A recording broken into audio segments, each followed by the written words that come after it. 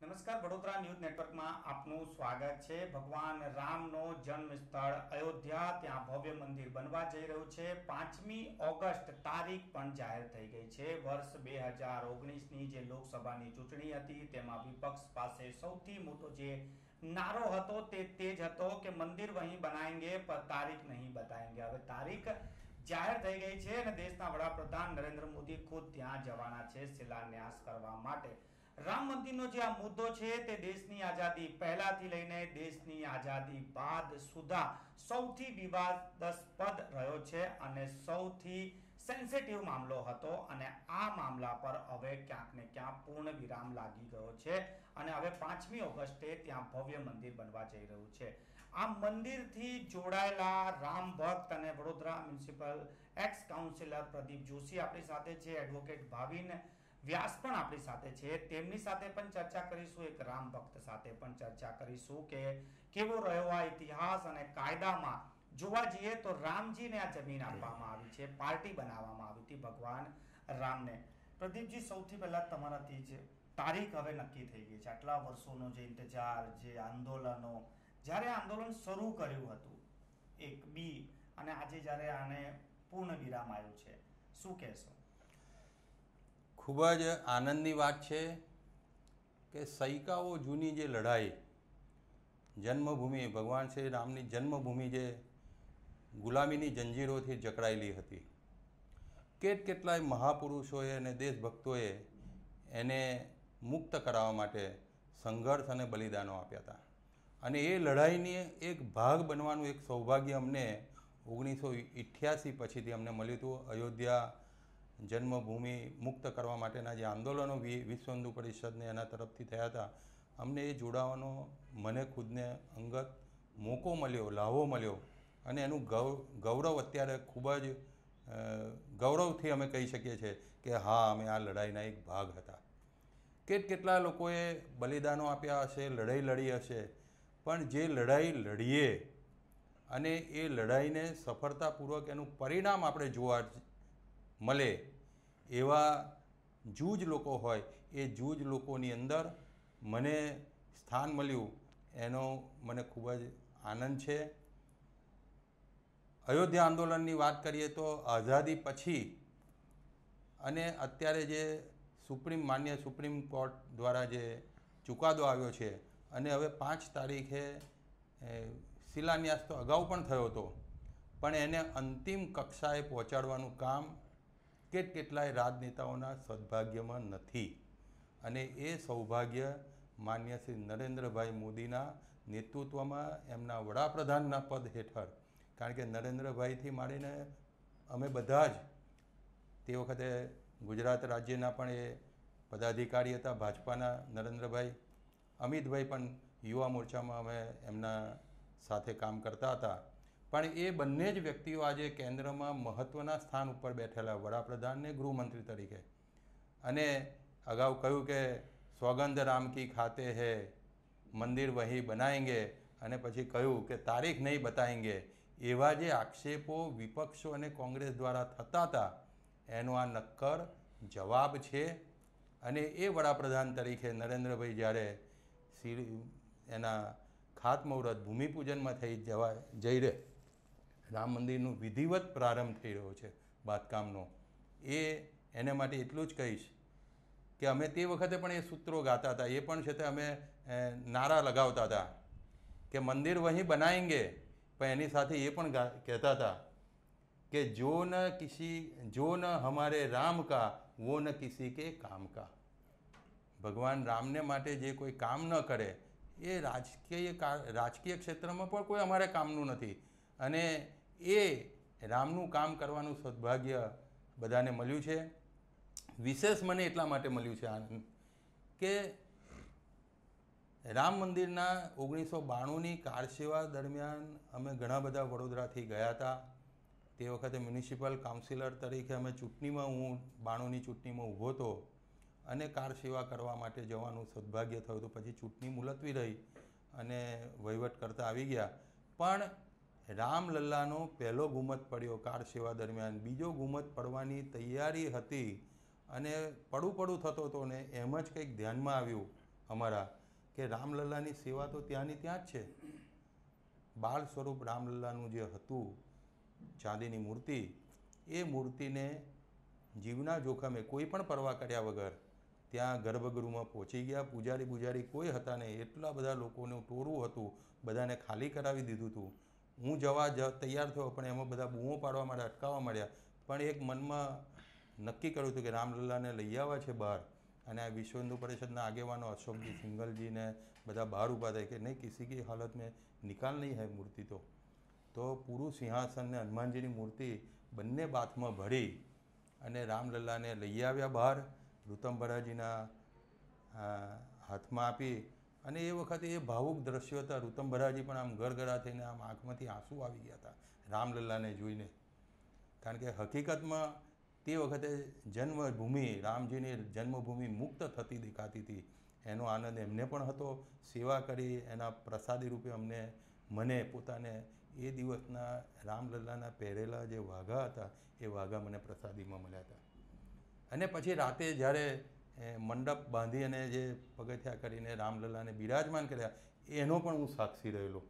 એટલે બંને રીતે છોટા મંદિરનો પણ છે તે સાક્ષી અત્યારે નજર સામે, હું જાણે કાર સેવા માટે છે તે ત્યાં અત્યારે અયોધ્યામાં હોવા ચર્ચા કરતી વખતે, એવું અનુભવી રહ્યો છું. કે પથ્થરો, આ તે ગોઠવતા ગોઠવતા ગોઠવતા, રામલલાની વિધિવત રાતે વહેલી સવારે હવે તો પછીના સાતમી ડિસેમ્બરની વહેલી સવારે જે પૂજા થઈને જે આરતી થઈ અને પછી તમે બધા ફૈઝાબાદ, અયોધ્યા છોડીને પગપાળા છે તે આવ્યા હતા. પણ એ કેટલાય સંઘર્ષોના અંતે આજે રામ જન્મભૂમિ જ્યાં ઉપર જે ભવ્ય મંદિર બાંધવાનો સંકલ્પ હતો અને સંકલ્પ કર્યો અને સંકલ્પ પરિપૂર્ણ થવા જઈ રહ્યો છે, એ હું માનું છું કે બીજા દેશના કોઈ પણ વડાપ્રધાન, એક હતા સરદાર વલ્લભભાઈ પટેલ, જે ગૃહમંત્રી તરીકે હતા અને સોમનાથ દાદાનું મંદિર અત્યારે આપણે જોઈએ છે જે ભવ્ય સોમનાથનું મંદિર સમગ્ર વિશ્વની એક અજાયબી કહેવાય એવું મંદિર એમણે બાંધ્યું છે. બીજું એ જ ગૃહમંત્રી અમિતભાઈ શાહના નેતૃત્વમાં અને જે પાંચમી તારીખે ત્રણસો સિત્તેર કાશ્મીરને છે તે ભારતનું અવિભાજ્ય અંગ છે એ મને લાગે છે કે છવ્વીસમી જાન્યુઆરીએ મુરલીમનોહર જોશીજી જોડે એકતા યાત્રાની અંદર પણ જોડાવાનું અમને મળ્યું હતું એ આંદોલનમાં ડોડા આંદોલનમાં અમે ગયા હતા. તો એવા સંઘર્ષના કાર્યક્રમોમાં કોંગ્રેસના શાસનની સામે લડતા લડતા લડતા અત્યારે જે જોઈ રહ્યા છે કે કાશ્મીર પણ અત્યારે આપણું કહી શકાય, આપણે ગર્વથી કહી શકીએ ના, કાશ્મીરમાં અત્યારે જે આતંકવાદથી મુક્ત બનેલું જે કાશ્મીર જોઈએ છે, કાશ્મીરી પંડિતોની યાતના જોયેલી છે, એ બધું જોતાં જોતાં અત્યારે બંને એક જ દિવસે પાંચમી તારીખે ત્રણસો સિત્તેરની કલમ દૂર કર્યા પછીથી એ કાશ્મીરની પરિસ્થિતિ અને એક વર્ષ પછીથી રામ જન્મભૂમિને ભવ્ય મંદિર છે તે બાંધવા માટેનો સંકલ્પ જો કોઈ પણ કરે, તો સરદાર વલ્લભભાઈ પટેલ પછી નરેન્દ્રભાઈ અને અમિતભાઈ શાહની નેતૃત્વમાં સરકારના માધ્યમથી, કારણ કે તે વખતે પણ કોંગ્રેસે, મને યાદ છે, ઇતિહાસ યાદ છે કે જવાહરલાલ નહેરુએ રાષ્ટ્રપતિજીને રોક્યા હતા સોમનાથ મંદિરની ભૂમિપૂજન કે ખાતમુહૂર્તમાં. તો તે વખતે એને પણ ગણગાડ્યું નહોતું અને રાષ્ટ્રપતિજી ત્યાં આગળ સોમનાથ આવ્યા હતા. તો આ એક સુંદર સુભગ સમન્વય છે. અયોધ્યામાં ભવ્ય મંદિર બાંધે એનું સ્વપ્ન સાકાર થતું જોવાય છે.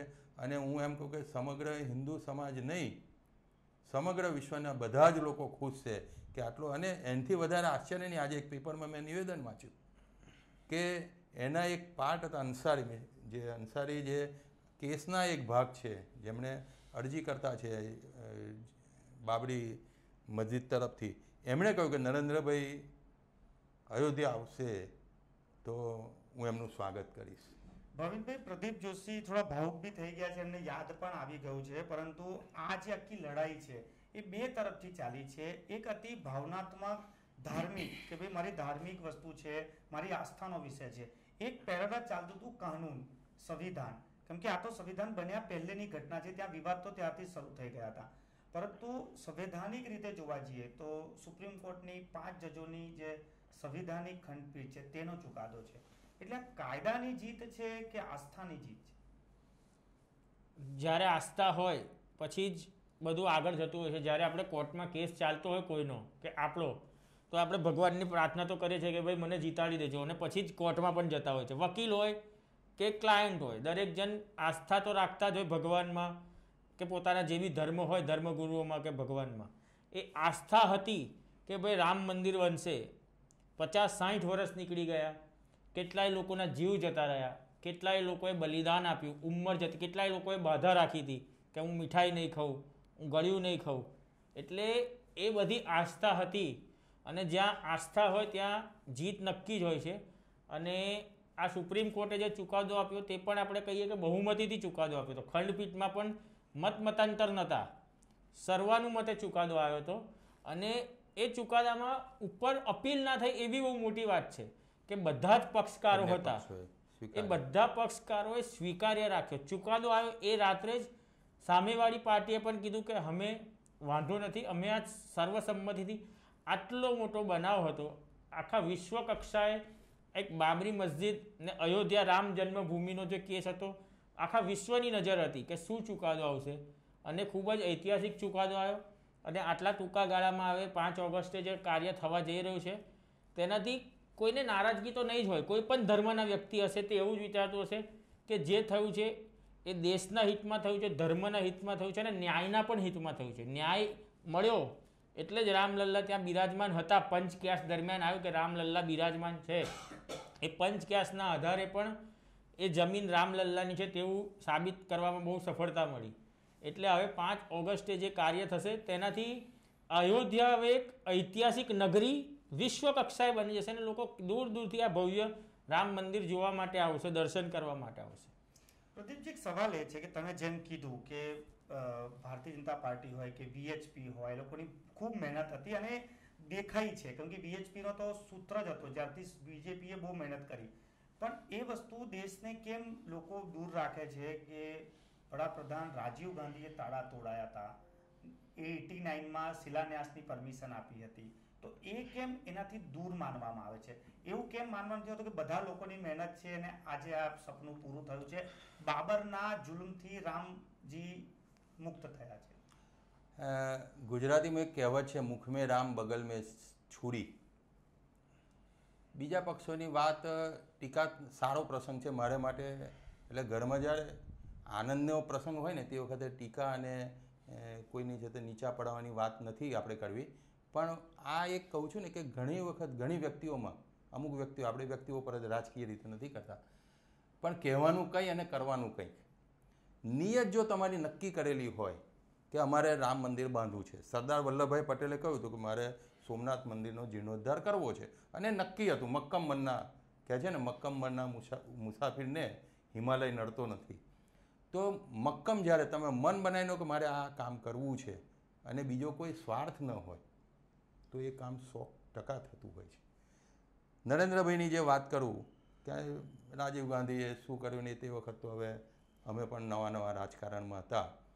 પણ જમ્પિંગ મેજોરિટી ઓગણીસો પંચ્યાસીમાં એમની જોડે જે બહુમતી હતી લોકસભામાં, એમણે ધાર્યું હોત તો કાયદો લાવી શક્યા હોત. શાહબાનોનો કેસ એમણે ઉલટાયો. બીજા કેટલાય કેસો, લઘુમતીઓને માટે કે બીજા કોઈ માટે, બીજે કોઈ એને કામ માટે એમણે કાયદાને પણ બાજુ પર મૂકી અને કામ કર્યું. જે નહોતું કરવા જેવું. કોમન સિવિલ કોડની વાત હોય કે આ હોય પણ રામ મંદિરમાં પણ એમને ભગવાને તો તક આપી હતી. એક વખત એવો વિચાર આવ્યો કે આ કામ કરવું જોઈએ અને આપણે શિલાન્યાસ કરીએ તો એમણે કરાયો. પણ એમની નિયત જો હોત તો મંદિર અત્યારે ભવ્ય બની ગયું હોત. અને હું એમ કહું કે સારું કામ છે ને, ભગવાન પણ નક્કી કરતો હોય કે કોના હાથે કરાવવું છે.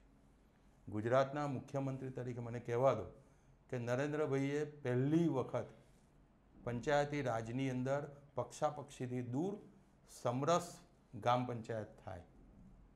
ગામમાં રાજકીય છે તે વાડા ઊભા ના થાય, વૈમનસ્ય ઊભું ના થાય, એટલે એમણે એક વિચાર મૂક્યો કે ચૂંટણી વગર સર્વસંમતિથી મંત્રી છે કે આપણા સરપંચ નક્કી થાય ને સમરસ છે તે ચૂંટણી કર્યા વગર સમરસતાથી બધી ગામ પંચાયત એ વિચાર તમને એવું નથી લાગતું કે નરેન્દ્રભાઈએ દિલ્હી જઈને પણ અમલમાં કર્યો?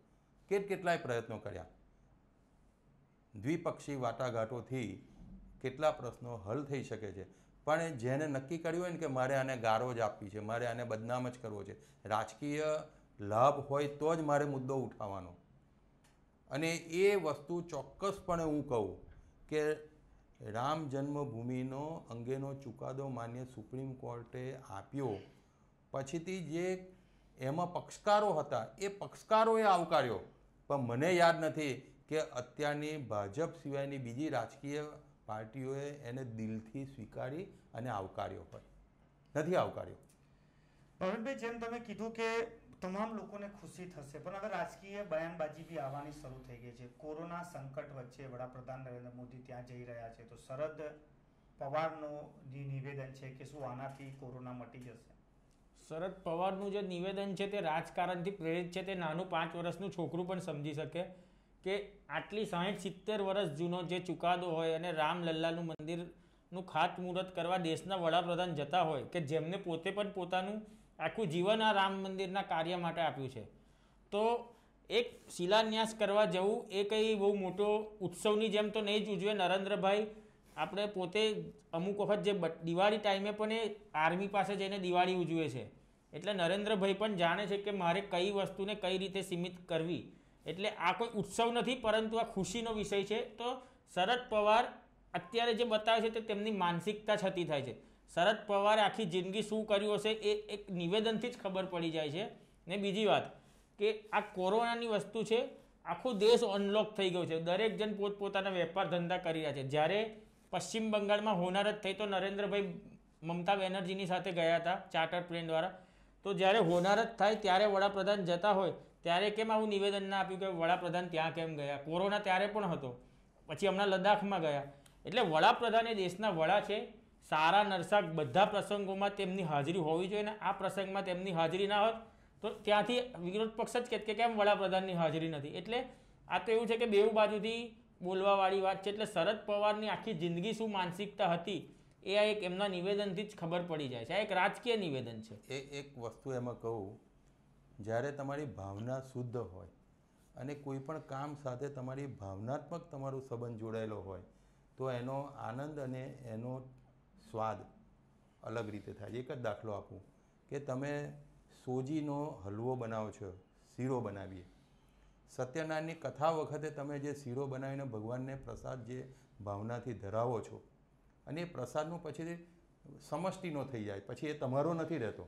ભગવાનને થાળ ધરાવીએ, ભગવાનને પ્રસાદ ધરાવીએ, પછી તે આપણે એવું નથી માનતા કે આમાંથી મને બે વાડકી વધારે મળી જાય. એવું નથી ભાવ હોતો. ભાવ બધાને આપવાનો હોય છે. એ સમષ્ટિનો ભાવ. અને એ જ બીજા કોઈ દિવસે તમે એ જ સામગ્રીથી, એ જ વસ્તુથી શીરો બનાવો અને કોઈક મને આજે જમવામાં આ શીરો આપો. એ ટેસ્ટ અને એ સત્યનારાયણ ભગવાનનો પ્રસાદીનો ટેસ્ટ એ તમને આજની તારીખ સુધી એક નહીં લાગે. ભગવાનને ધરાવેલી વસ્તુ એ એનો આનંદ જ અલગ હશે, એનો ટેસ્ટ પણ અલગ હશે, એટલે ભાવનાથી જોડાયેલી ને જે પણ કંઈ કામગીરી કરી હશે, એ કામગીરીનો આનંદ અને એ ફરજનો પણ ભાગ છે. નરેન્દ્રભાઈ અત્યારે વડાપ્રધાન તરીકે જતા હોય, રાજનાથસિંહ જ્યારે બાબા અમરનાથના દર્શન માટે જતા હોય, તો શક્તિ અને ભક્તિ બેઉ ભેગી થાય છે. સમગ્ર વિશ્વ કોરોના સામે જજુમી રહ્યું છે. વિજ્ઞાન, આધુનિક વિજ્ઞાન આધુનિક વિજ્ઞાન પાછું પડી રહ્યું છે. ત્યારે સમગ્ર વિશ્વની દ્રષ્ટિ આપણા આયુર્વેદિક ઉપર છે. સનાતન હિન્દુ ધર્મની જે પરંપરા છે ને, ખાણીપીણીને લગતી, અત્યારે બીજી વાત ન કરીએ. પૂજા પદ્ધતિની વાત ન કરીએ હિન્દુ, પણ હિન્દુ એટલે હિન્દુ સમાજ એટલે કોઈ એક જ્ઞાતિ આધારિત કે કોઈ પૂજા પદ્ધતિ આધારિત નથી.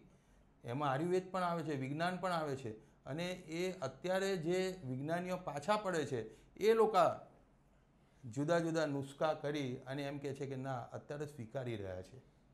તો અત્યારે નરેન્દ્રભાઈ કરે એમનો ફરજનો ભાગ છે અને દરેક વસ્તુમાં કોઈ એમ માને કે હું મારી જાતને લીધે જીવી રહ્યો છું, કે મારી જાતને લીધે જ હું આગળ વધું. ના, ઈશ્વર ઈચ્છા પણ એમાં હોવી જોઈએ. ભગવાનની કૃપા એ એમાં પણ હોવી જોઈએ. કોરોના જશે તો ભગવાનની ઈચ્છા હશે, પરમાત્મા કંઈ પણ ઈશ્વરીય શક્તિ છે, એ ઈશ્વરીય શક્તિનો સંકેત છે. પર્યાવરણને આપણે જાળવ્યું નહીં તો એના પરિણામો આપણે જોઈ રહ્યા છે. તો પર્યાવરણને જોડવાનું કામ હોય, ધર્મને જોડવાનું હોય, ફરજને જોડવાનું હોય, શક્તિ બતાવવાની હોય કે લાલ આંખ કરીને ચાઇના જેવાને છે તે સીધું દૂર કરવાની વાત હોય, તો નરેન્દ્રભાઈ ક્યાંય પાછા નથી પડતા, કારણ કે એમના ગરથુથીમાં આ સંસ્કારો છે. અને તમે જે કહો છો ને ગરથુતીના સંસ્કારો સાચા હશે ને, તો જ સાચું કામ કરી શકશે. નહીં તો આવા આડેધડ નિવેદનો આપી અને રોડા નાખવાનું કામ હજી અટકતા. મેં નહીં કહ્યું કે દિલથી આવકારતા નથી, તો આ લોકો દિલથી આવકારતા નથી. સર, પ્રદીપજી, આપણે જ્યારે આજે તમે તમારી તમારી યાદ, વાતોને યાદ કરી, તમે એવું ફીલ કર્યું કે તમે અત્યારે કાર સેવામાં છો, અયોધ્યા છો. તમારી સાથે એવા વડોદરાના કોઈ મિત્રો, જે ભાવિનભાઈ કીધું કે લોકોએ તો બાધા લઈ લીધી હતી. તમે એવા મિત્રોને યાદ કરવા માંગશો કે અમે આપણે સાથે બેઠા નથી, પણ કોણ કોણ એવા મિત્રો હતા જેમને કંઈ કર્યું હોય? અગાઉ અગાઉ ચુકાદો આવ્યો ને તે વખતે મેં ઇન્ટરવ્યૂ આપ્યો હતો અને મેં કહ્યું હતું કે મારી સાથે વડોદરા વિશ્વ હિન્દુ પરિષદના સુધાકરભાઈ જોશી જે અત્યારે દિલ્હીમાં જ છે, એ અમારી સાથે હતા. રામલલ્લાને બહાર લાવવામાં અમે ત્રણ જણ હતા. સુધાકરભાઈ જોશી, બીજા એક અમારા સાથી કાઉન્સિલર તે વખતે હતા, અરુણાબેન પંડ્યા. અરુણાબેન પંડ્યાને અને, હા, અને એક ચંદુભાઈ મેઘાણી. અત્યારે સમામાં અમારા એ વિસ્તારમાં રહે છે. અમે લોકો સાથે હતા. સાધુ સંતોની કાર સેવા ચાલતી હતી. અમારે છે તે કાર સેવામાં જોડાવાનું નહોતું. પણ પછીથી જે માહોલ થયો, એમાં તો પછીથી ભગવાન રામની જ કૃપા કહો ને એમની જ શક્તિ કહો અને જે કામ થઈ ગયું, એ હનુમાનજીની કૃપાથી જ થયું હોય એવું અમે તો અત્યારે માનીએ છીએ.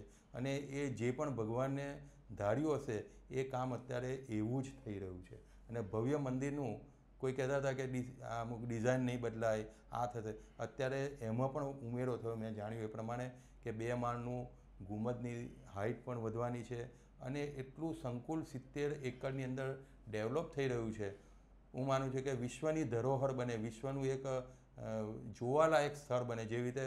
અને મોટા કામો જો કરવાનો અનુભવ, નિયત અને અનુભવ, સરદાર સ્ટેચ્યુ ઓફ યુનિટી નરેન્દ્રભાઈએ કર્યું છે, અત્યારે વિશ્વમાં છે તે ઓળખાય છે. પણ જે આડું બોલવાવાળા હજી પણ સ્ટેચ્યુ ઓફ યુનિટી ઉપર જઈ શક્યા નથી.